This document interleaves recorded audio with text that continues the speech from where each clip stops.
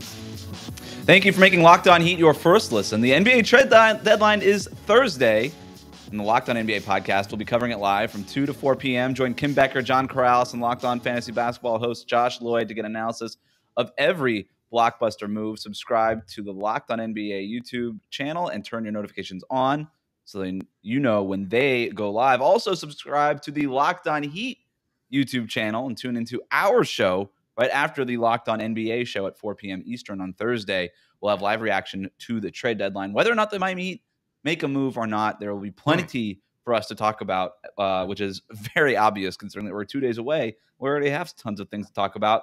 Um, but we should discuss some of the rumors lately that uh, for uh, among the players at the Heat are are rumored to be interested in, and our friend uh, Greg Sylvander over at Five Reasons Sports reporting that the Heat are interested targeting potentially Charlotte Hornets power forward PJ Washington among an assortment of other players. Now, right. PJ Washington was the name that was most interesting out of the list. And look, I haven't done any digging on the PJ Washington thing in particular, but uh, as far as his contract, it makes sense, and it's in line with what you and I have been talking about all along. When you look, everybody wants to talk about the Duncan Robinson uh, trade. Right. That was always going to be a, a far fetched idea. A much more likely scenario for Miami ahead of this deadline was packaging Markieff Morris and a smaller contract, whether it be KZ Okpala or Omer Yurtseven, with and, and, kind of putting 4.2, 4.4 million dollars together, and maybe taking those two guys, moving it to another team, getting somebody who can contribute right, right away back in return, and then promoting Caleb Martin into what would be then the 14th roster spot, right? And you just kind of leave that 15th spot open or potentially leave it open for a buyout guy. But so PJ Washington's contract fits in that sort of $4.4 million right. contract spot. So what do you think about PJ Washington? Well, he's got a team option for next season too, so that's that's great. Uh, I guess Miami could ultimately wind up you know choosing not to pick up that option and keeping some salary cap space there. Although I, I mean, aside from Yurtseven, none of those players really have any time left on their contract anyway. But as far as Washington, the player, he's fine. Like he's a name because he was a lottery pick. Uh, you know, played at Kentucky. Obviously, there's a connection to Miami there. Limited athleticism from what I've seen. Uh, okay shooting, although I would say that he probably takes some um, some difficult shots that don't need to be taken. So I wonder if he's just a player in need of a change of scenery. And and look, mm-hmm. we've seen that before. It's it's hard to gauge a player's value or impact just based on three seasons uh, in Charlotte of all places where they've been losing and they've gone through such turmoil in terms of their coaching staff and everything else and players and uh, you know how do you evaluate what PJ Washington can do based on what he's done on a bad team? And so there is potential there. I'm just not particularly high on that potential. Uh, I think he can do some things, but he's not a passer. He's just an immediate upgrade for this season, and if that's the case, that's fine. Uh, but only because you just don't believe that Markieff Morris is ever going to play in for the Heat this season. Right. Um, and for the record, it, it's worth noting that the Heat were interested in PJ Washington and lead up to that 2019 draft. They worked him out a couple different times and they were interested in him. We don't know if they would have taken him. He, he, yeah. went off the board one pick before them to Charlotte. They ended up, of course, with Tyler Herro, and, and I would say that probably worked out. But um, they liked PJ Washington back then, and I would imagine they probably still do. He's a 38% three point shooter. Uh, yeah. He's not particularly great from the corners, um, but that's not on a very high volume either. The other thing with PJ is that he is extension eligible this summer. So this would not be a one year rental. This would not be a situation where you decline the team option there. I, I mean, this is a guy who you would trade for, understanding that you would pick him, you you would you would extend him. Now, right. I don't know what that extension looks like. It's probably not a huge extension, but it's something that you would do to to retain him. I would mm imagine. Um, do the Heat like PJ Washington that much? Would they have to get him in house to determine that? Probably, yep. right? Yeah. Um, but they they probably like him enough to at least look at it. And again, we don't know what the extent of any con if there had even been a conversation. Look, the way that this stuff works is a GM will call another GM and say, "Hey, what who do you like on my roster? Here's who I like on your roster." And maybe that's the end of the conversation. Very rarely do you actually get a "let's do this for this" and then you plug it right. into the trade machine and it works. Like you very rarely get that in the NBA. But for it to actually work out, it would be Markieff Morris and probably Omer Yurtseven because you got to think if you're from if you're Charlotte, why would you trade PJ Washington, a guy who three years ago you took in the lottery, who's been okay for you? He's been useful. He's played some four, played some five for you. He's versatile. He fills gaps for you. he's not a hopeless player by any stretch. Why would you trade a nice young player in PJ Washington? Well, number one, maybe you don't want to pay the extension this summer. That's that, right. that's a that's a factor. And also because you're looking for a center, and you've made it known to everybody that you're looking for a center.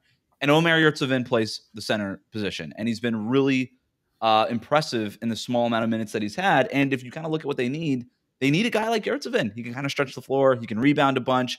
He's a presence in the in the paint at least. He's young, so yeah. he fits their timeline.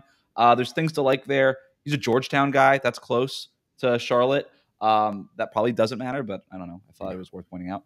Uh, so it would be Markieff Morris and Omer Yurtseven for PJ Washington. So then the question goes back to Miami. After everything you've seen from Omer Yurtseven, and we love some Omer Yurtseven, would you be willing to trade Omer Yurtseven yeah in a package to get PJ Washington. We put it on the Twitter poll over on Locked On Heat on Twitter. Uh, 68% of you said yes. 32% of you said no. So overwhelmingly, a lot, uh, majority of you said yeah. I would. I will say 100% of the front office will do the trade in a heartbeat if they like Washington it, more. Yeah, I think it would make sense. The only problem with it though doesn't exactly line up contract wise, like perfectly. Miami is so close to the luxury tax line, four hundred thousand dollars that this deal would put them at $262,000 below that tax line. Mm. So you're still not paying the tax. But the mm. problem becomes you're doing a two for one deal. You only got 13 players under contract. You need 14 by league hmm. rules. So you would have to promote Caleb Martin, would probably be the first move. You would have to promote Caleb Martin on a minimum contract. It would be prorated, but it wouldn't be prorated enough to keep you out of the luxury tax. So you would be doing this deal and guaranteeing that you would be entering the luxury tax if you did this deal by itself. You could do potentially a second deal, but you couldn't do a second deal to just offload, for example, KZ Okpala, because now you're only with 12 players. And you, if even if you promoted Caleb Martin, you're only at 13, and you still have to go sign somebody else to get to 14, and now you have the same problem. So I don't. Uh, th- this doesn't quite mathematically make sense unless you deal a higher salary for a much lesser salary. Maybe it's Duncan Robinson's 15.6 for somebody who makes 13 or 14 or something easier like that. But again, are you jumping through all these hoops for PJ Washington? I don't think so. As much as maybe the Heat like PJ Washington, I'm sure they don't like him that much unless they think that that subsequent deal also improves the team. So it's, you, it's a little tricky here. Do you do you like him that much? No. I like PJ Washington. I like his versatility. I think exact I think the Heat need to find a guy Someone. like PJ Washington. Right. They it we look, we we've been wondering whether or not Markieff Morris was going to play all season. We have no idea, and when he does come back, we don't know what he's going to look like. They need somebody in that backup four role, and I don't okay, think that this? you could rely on. If you can find a guy who could be healthy and play for you right now, with giving and not having to jump all, through all these hoops, I think you do it. And. I just with so PJ, the math doesn't quite work. here's a theoretical. Going through all those uh, cap gymnastics, yeah. to get a player like uh, Washington, who you probably can't sign long term because of conflicts with the rest of the contracts on this roster, and knowing that he is, you know, okay as a player and fits what they're trying to do now, but you still need a four. Would he be worth the sacrifice and the cost over, say, Paul Millsap if he's available as a buyout player? Well, you'd have to first unload somebody. And so you're gonna have to, in order to even have the buyout conversation, because I don't think that like I would rather get Paul Mills. Paul Millsap can't really do much right now. But if mm. if the if the cost is free mm. and you don't have to do all this work, then maybe it's worth exploring. I don't know, but you also have to have some pretty good intel if you're Miami because we have a timeline thing here too. Because right now, if you were to add Paul Millsap, you couldn't do it until late March, right? Which now you're kind of it's again it kind of it defeats the purpose. Like by then, Markieff Morris might be back. So what's the, even the yeah. point of adding Paul Millsap? And also, you wouldn't be able to promote Caleb Martin at that point, and then Caleb Martin wouldn't be eligible for the playoffs, which is the whole reason why you want to promote him from that two way contract. So you've got to have really good intel on that Paul Millsap is going to sign with you at that point. It, uh, right, or I should say that he's going to sign with, he's going to get bought out, and then he's going to sign with you because before this trade deadline, you would have to clear cap space. You would have to trade Markieff Morris or KZ Okpala into Oklahoma City's cap space or whatever, and and just and be very very confident that you're getting somebody on the buyout market. Would I do it for Paul Millsap? No. But if I was super confident in a guy like Thaddeus Young, 100% I would do that. Yeah, I wonder if he gets bought out at this point, considering how much they have played him of late, given all the injuries that they're going yeah, through. There's but been some, some of the scuttle that they could trade him and stuff, but I don't see anybody taking on that salary. We'll see what happens. Couple of the other names that Greg mentioned in a tweet: uh, Rui Hachimura of the Washington Wizards. We That's should also happen. note.